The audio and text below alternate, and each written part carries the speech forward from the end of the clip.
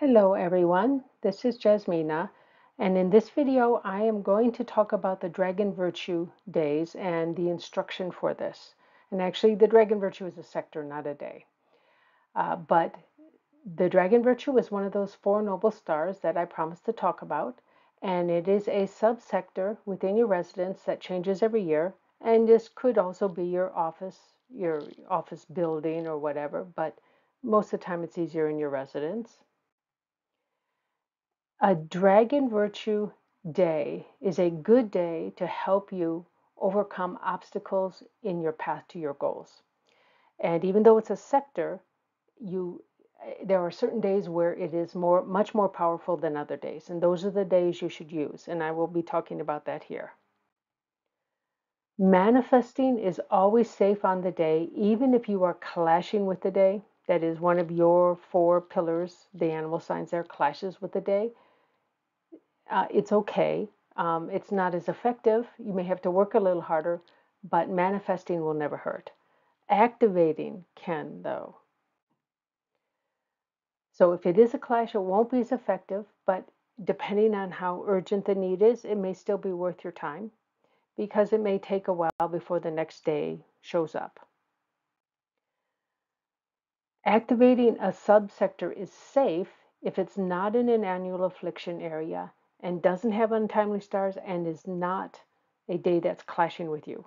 But it, that's a particular day. But that subsector is safe to activate as long as you don't have any of these untimely stars. Now there's annual untimely stars, and then you've got some in your house's feng shui chart, and I mean sorry, flying star chart, and uh, you also have some in the purple white. So there's things that you need to know about your house um, to do this well. And the purple white chart changes every year, so it's a little more difficult. But if you don't have any problem stars there, for example, if you have an activated special formation in your flying star chart, uh, you don't have to worry about that. And you can even have a, an activated special formation. Actually, it's automatically activated in your purple white chart. If you have both, you only need to worry about the annual stars. And this is why feng shui practitioners really like to have a house that has these these uh, good um, uh, these two good things, having uh, a special formation in both the flying stars and in the purple white. But they're not that easy to come by. So sometimes you have to sacrifice something, but you can still manifest no matter what, and that's safe. Now, activations, physical activations of water or fire, which are the two activating elements, they should be there for a two week maximum. Uh, and that is because you're activating this particular energy. It's not like a permanent thing. So, the location of the dragon virtue depends on the year branch. So, if uh, we are living in a rat year, the subsector would be southwest 1 and so forth. So what is this year? This year, 2024, it's a dragon year. So this northwest 1, I mean northwest 3, which is the pig subsector, this is the one you want to activate on a good day. And I'll talk about that in a second. So this year, Northwest 3 is clear of all annual afflictions and therefore it can be activated safely as long as you don't have untimely stars in the northwest. The dragon virtue can be activated on any generally good date selection day, but there's uh, there is a slight preference. Uh, at least some people have a slight preference, or some practitioners. But you still have to avoid your clash days. That is, to the day you're doing the man or you're doing either the manifestation or the activation. You don't want to do it on a clash day, and you want to avoid snake days because Northwest Three is in the pig sector, so it's just a little safer to uh, to pass on snake days. Uh, since it is a dragon year, uh, the dog days also might not be as effective because they're clashing with the year, but it's doable, it's usable, let's put it that way. You want to manifest and maybe not place uh, any any kind of activation though. Now, the dates that clash the, the the dates that clash with the month's animal, that is, the day clashes with the month, they uh, that is, they may also be weakened a bit.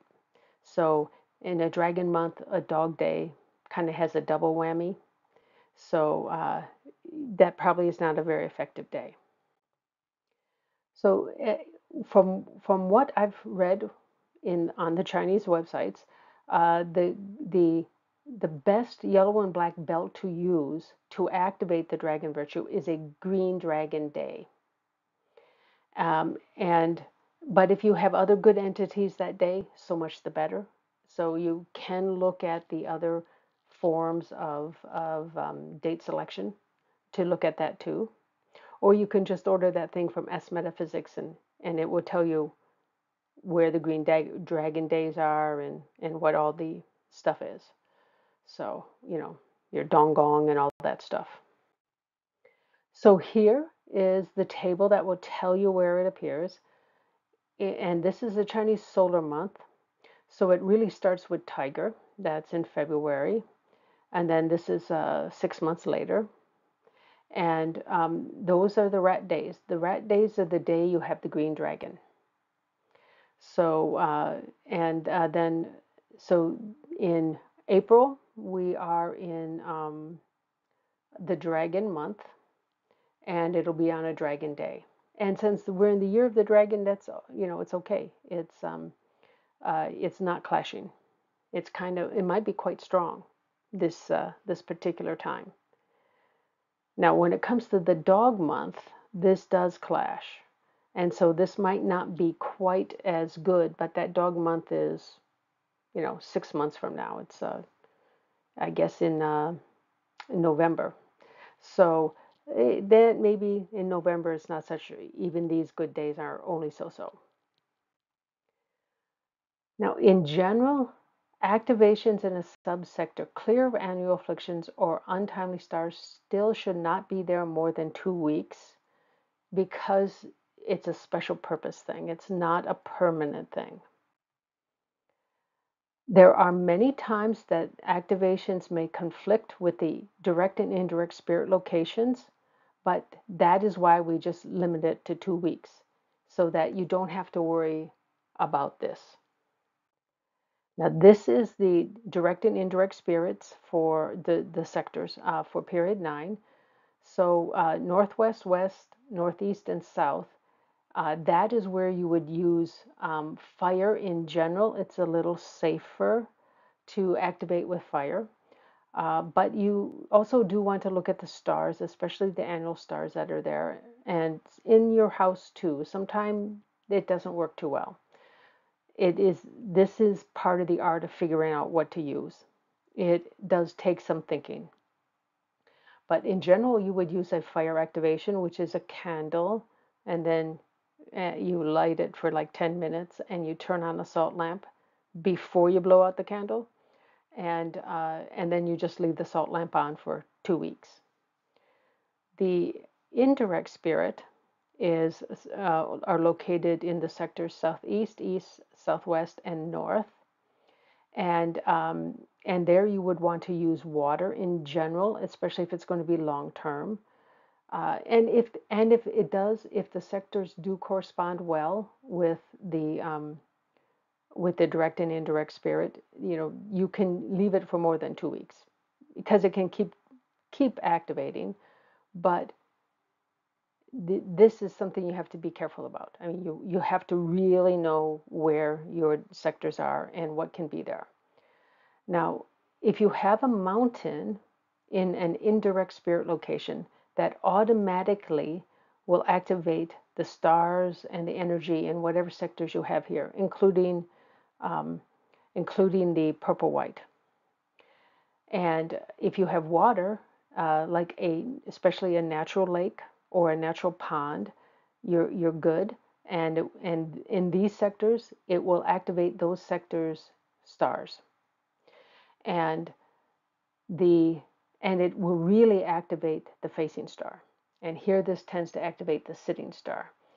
So the mountains must come from nature And if you have a mountain, let's say in period nine, you have a mountain in the east, it's okay.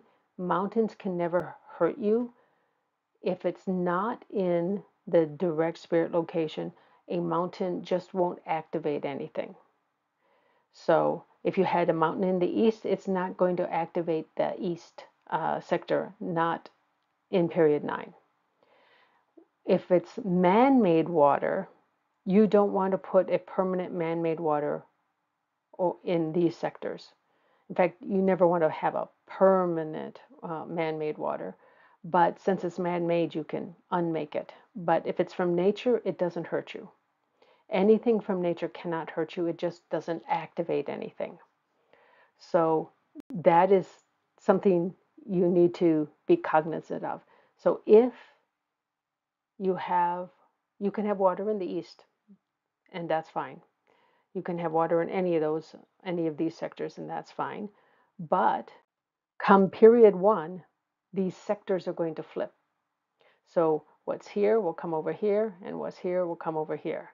So uh, that means if you have a man-made structure, let's say you put water in the east, well, come period one, which is 2044, you um, may want to fill that in. Um, but if that water is put there to activate a special formation, it can stay.